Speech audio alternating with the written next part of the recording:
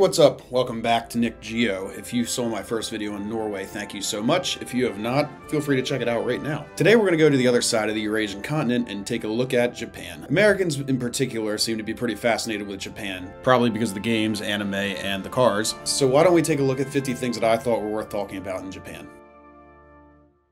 Japan has a massive public transportation system in terms of rails and highways. The Shinkansen bullet train reaches nearly 200 miles per hour with nine different rails that cover the majority of the entire island. It also connects Tokyo to Osaka. These larger rails integrate well with the smaller rails, including the semi-fast trains and the ones that make a bunch of local stops. Okino Torishima is sometimes considered an island in Japan, although it better fits the definition of an atoll. It's basically a man-made cement structure surrounded by coral reef. There are also a couple of helipads. Now, let's really kick things into gear by talking about Japan's three premier historic castles. The Matsumoto Castle is located in the city with the same name and it is easy to reach from the country's capital, Tokyo. Some like to refer to this one as the Crow Castle due to its black exterior. It's been preserved pretty well considering that it was built in 1594, although there are structures and things about it that would suggest the construction went back even further. In 1872, the Meiji government ordered the destruction of all of the feudal structures, however, this one was saved because it was met with massive protests. Between its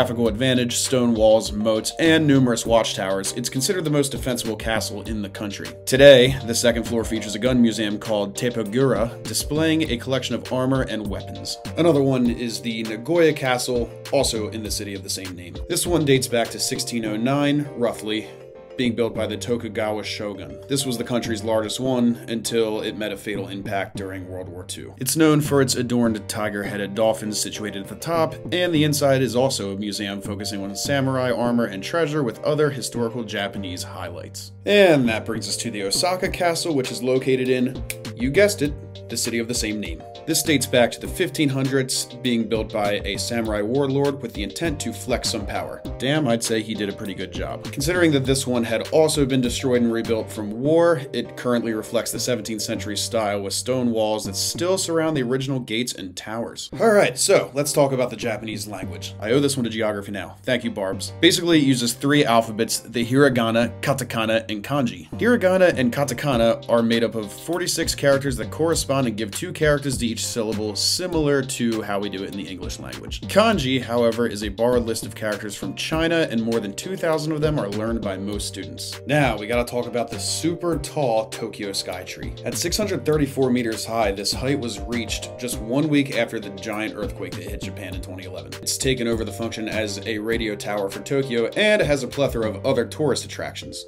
These include the Solamachi Aquarium, as well as plenty of restaurants that give a very beautiful view of the entire city of Tokyo. Japan is further north, south, east, and west than the entire Korean peninsula. Now this doesn't really catch anybody as surprising until you mention west. That's because the Yaeyama archipelago extends further west than people realize. Its westernmost island is known as Yonaguni, which is located pretty close to Taiwan. Spots of interest here include the Tofu Rock, the gorgeous Nara Falls, and Ida Beach. Hey, speaking of islands, the Tashirojima Island is located on the west side of Japan, known as the Island of Cats. This dates back to the Edo period in 1602, when all pet cats were freed to help combat the rodent problem as they caused issues for the silkworm that were being raised. Another one is the small Kuroshima Island. These days it's heavily utilized for research centers, although there are still quite a few old shrines of worship.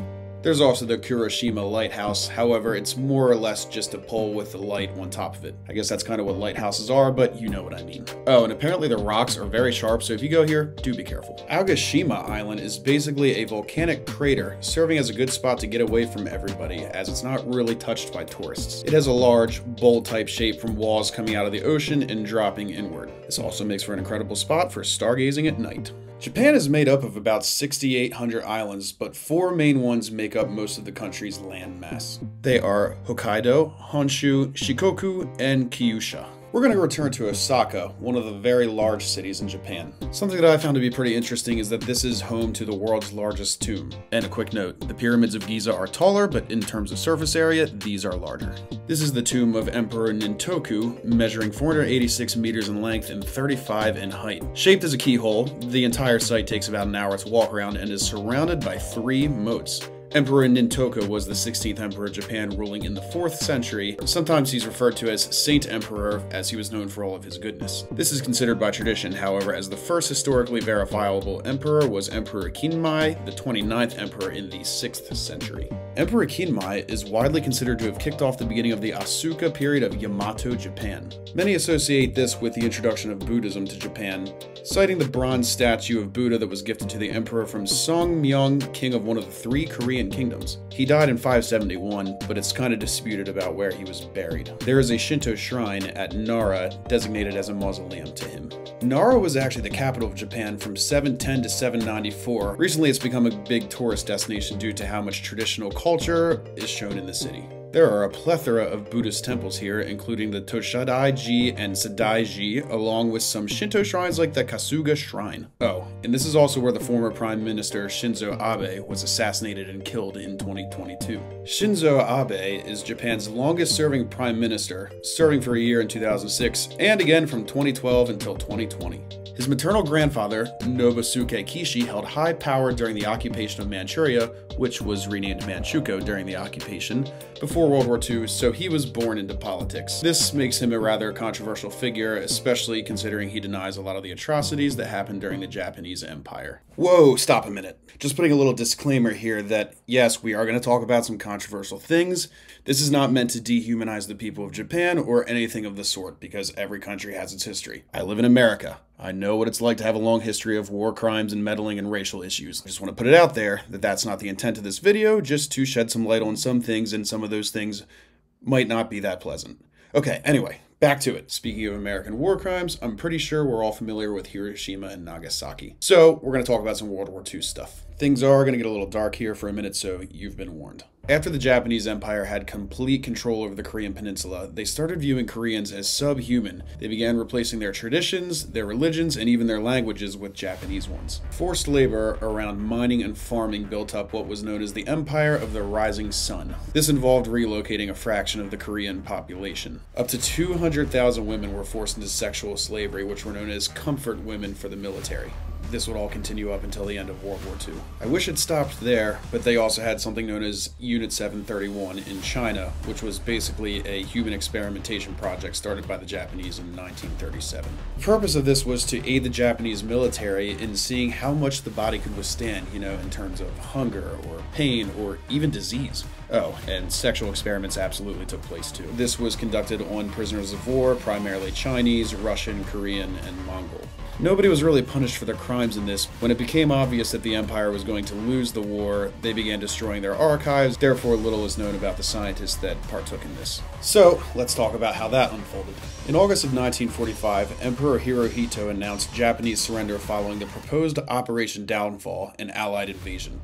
At what was known as the Yalta Conference, Joseph Stalin promised entry into the Japanese War upon defeating Germany, leading to the invasion of Manchuria, Inner Mongolia, and Northern Korea to defeat the Kwantung Army. Unfortunately, the first US atom bomb was dropped on Hiroshima a day before the Soviets could actually make this move. Kinda makes you wonder, huh? Okay, now stick with me, we're almost out of the controversial stuff. There's an organization in Japan known as Chongryon, headquartered in Chiyoda, Tokyo, which has close ties to the DPRK, or North Korea. It's primarily descendants of those who migrated during the Japanese occupation of Korea, many of whom were conscripted laborers and sexual slaves. This was founded in 1955 by Han Duk-soo, a left-wing activist for labor movements in Japan. Much of the purpose was to organize around the DPRK, working towards peaceful reunification as well as fighting against suppression of Korean culture, language, education, and and beliefs during the Japanese Empire. Many Koreans in Japan today still face relentless racial discrimination to the degree of Korea University students not getting government relief during times of struggle. This facility has also been attacked by Japanese authorities and right-wing activists, including a van opening fire on it in 2018. Moving on to a far warmer subject, Japan does have its fair share of musical artists and influences. For one, Yoko Ono was born here. And there's also the Japanese heavy metal outfit from the 80s called Loudness, one that I like. But everybody these days seems to love J-pop. J-pop, or Japanese pop, is basically exactly what it sounds like, music that takes influence from the western styles of pop and rock and are from Japan. Its focus combines traditional Japanese influence of Kyoku with rock and pop outfits of the 20th century and recently the 21st century. Some of the earlier artists of the style include Yellow Magic Orchestra and Pink Lady, and more modern ones picked up with the likes of Gees, BB Queens, Glay, and AKB48. Now looking at Japanese folk music, one style that comes to mind is minyo. This tends to consist of a three-string lute, taiko drums, and a shakuhachi bamboo flute, all accompanied by singers. Lyrics typically focus around workers, especially fishermen and farmers, but religious and celebratory themes are also rather common in this style. So, when it comes to Japanese food, a lot of Americans in particular are going to think about ramen and sushi. Well, there's a little bit more to it than that. Some dishes include takoyaki, which is basically fried octopus balls. Balls of fried octopus, not like an octopus well, yeah, you get it. Tamagoyaki, which is folded fried eggs whipped with mirin, sugar, and soy sauce. And for the thrill seekers, there's fugu, which can kill you, thus must be prepared by a licensed chef. It's basically blowfish, which has toxins that cause paralysis followed by death, so a trained chef must spend a few years learning how to properly extract the toxins. The longest and widest river in Japan is the Shinano River, running in the northeastern Honshu Island. At 367 kilometers, it's always been an effective means of transports to the Nutaru, Niigata, and Kambara ports. Mount Kobushi in the Japanese Alps is where this all takes its origin.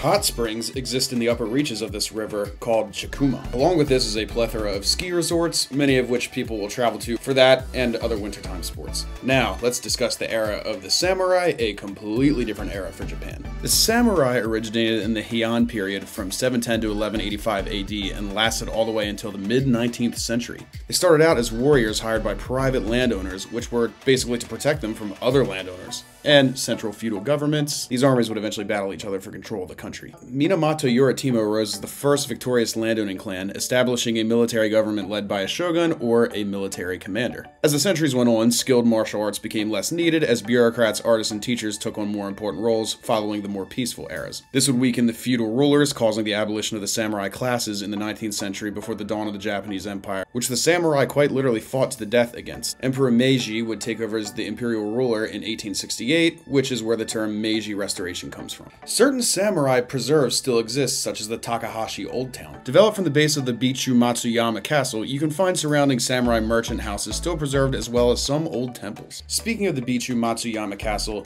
it is the oldest standing castle in Japan among the other 11 that survived the post-feudal age. It was built on a steep mountain in 1240 AD with the aim of making it difficult to attack, reaching an elevation of 430 meters. Even today, it's pretty tough to access and requires a lot of hiking to reach. But before moving on from the samurai, we gotta talk about the Battle of Shiroyama. This was that battle I mentioned earlier that was them quite literally fighting to the death. The Satsuma Rebellion fought Yamagata's imperial forces until 1877, almost nine years after he took control, which was basically an uprising against the newly established Japanese empire. This rebellion was led by Saigo Takamori on the island of Kyushu before being surrounded. With roughly 400 men left, they managed to occupy the hill of Shiroyama outside of their base. As the samurai were forbidden by honor to surrender, a suicidal charge was led against Yamagata's imperial army, effectively bringing them to an end. Alright, so let's return to the capital of Tokyo, the largest city in the world. One of my favorite features is the Tokyo Dome, but less the dome itself and more of what surrounds it. The Tokyo Dome City Amusement Park is home to the very first centerless Ferris wheel, or otherwise known as the Big O. The engineering geek in me loves this.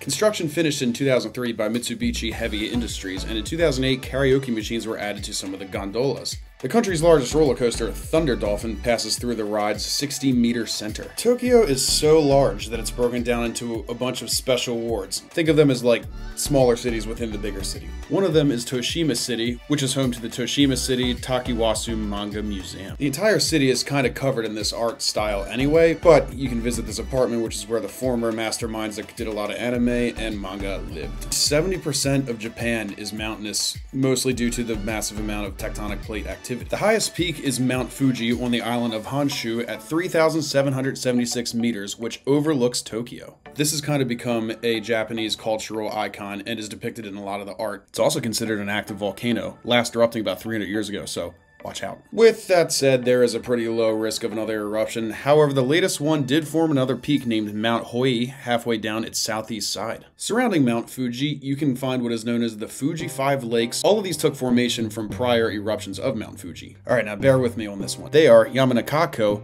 Kawaguchiko, Saiko, Shojiko, and Motosuko. Fuji Yoshida is the principal city, and this is built on hardened lava. Aokigahara, or the Sea of Trees, can be found along the northwestern side of Mount Fuji. This is also known as Suicide Forest. Kind of pairs well with the fact that it's said to be full of ghosts. Not eerie enough, because of the hardened lava rocks, much of the sound is absorbed, making it a great spot for solitude and sheer quiet. It also has several caves that fill completely with ice every winter. Japan has its own professional baseball league called Nippon Professional Baseball, which was founded in the mid 30s. It's not really played any differently than baseball in the US or other areas of the world. However, the strike zones are noted to be rather narrow. Some of the teams include the Chunichi Dragons, Hiroshima Toyo Carp, and Tokyo Yakult Swallows. Ah, on the subject of sports, they also have a wrestling league, which is the NJPW or the New Japan Pro Wrestling. They have a website and a fan club that you can join. So, I've mentioned Shintoism a few times now, but haven't really talked in depth about what that is. Essentially, it's a belief that everything, and I mean literally everything, has spirituality or gods, which the word for that is kami. This kind of makes sense when you consider Japan's colorful culture and why it's everywhere, and while a lot of people don't really practice it in a religious sense today, it's still a very important part of the Japanese character. Now let's get back to the cities. We haven't really talked about Kyoto yet. Some may refer to this as the cultural capital as it's known for all of its Buddhist temples and shrines. Fushimi Inari is the oldest one from the 8th century founded by the Hata family, dedicated to the Shinto god Inari. Kyoto is also the capital of the country for about a thousand years, which is what gave it that cultural identity. Iya Valley can be found on the Shikoku Island, known for all of its vine bridges. These were built for daily travel in ancient times, but over the years, very few of them have remained intact.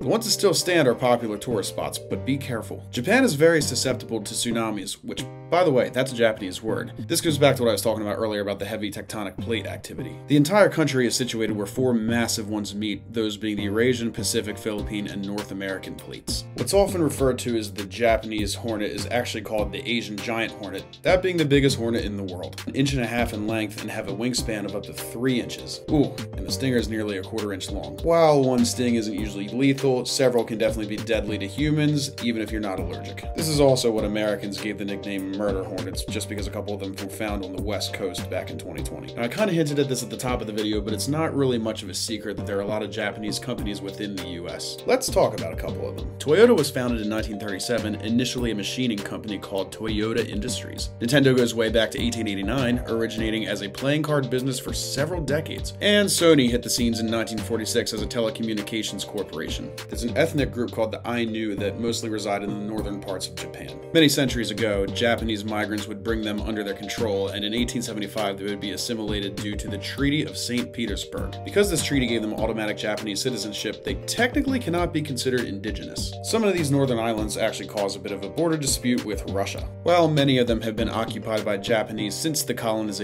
Russia administers them, which dates back to World War II. Conflict like this existed even prior to World War II, specifically the Russo-Japanese War. This took place between the two empires from 1904 and 1905 over Manchuria and the Korean Peninsula, leading to the aforementioned expansion of Imperial Japan upon victory. Japan was also one of the few territories that the Mongol Empire could not conquer. After failing once, Kublai Khan would aim for Japanese shores again, but would be met with kamikaze or divine wind, which is where this term originates. Due partially to inferior Mongol boats, they were unable to withstand a typhoon that obliterated them, being proof to the Japanese that they were under the protection of heaven. However, more recent studies do mention that the Japanese just had incredible fighting strength, and some even suggest that the typhoon had nothing to do with this victory. Now, this isn't necessarily unique to Japan specifically, but Japan very much does have a problem with an aging population and overworking. There's actually a word for death by overworking called karoshi, and this is a problem that's kind of plagued the island since the 70s. One in five Japanese are actually at risk of this. The Jomon period existed between 14,000 and 300 BC, the word coming from the culture of the hunter-gatherer inhabitants of the time. This was discovered through carbon-dated pottery when fragments were found categorized by their cord markings. In earlier periods, they were made by chipped stone tools, and manufacturing pottery often implies evidence of a sedentary life. Japan is very much known for its blossoming cherry trees, most notably the Somei Yoshino, having a rich meaning in Japanese culture. A very well-known waterfall in Japan is the Nachi Falls. Though there does exist taller ones with multiple drops, it is the longest uninterrupted single drop fall in the country at 133 meters. Okinawa World is a theme park that focuses on Okinawan culture. Some of the main attractions include a craft village, snake museum, and a massive natural cave. The Gyokusendo Cave is nearly 5 kilometers long, being the second longest in the country. It's well lit and maintained as 850 meters of it are open to the public. And with with that, we conclude our deep dive within the Japanese borders. As I asked before, is there anything that I left out? I'd love to hear about it. Is there something that I got wrong? As always, feel free to leave some comments, and if you like this, give it a like. If not, give it a thumbs down. Thank you as always for sticking around for the entire video, and I will see you next time.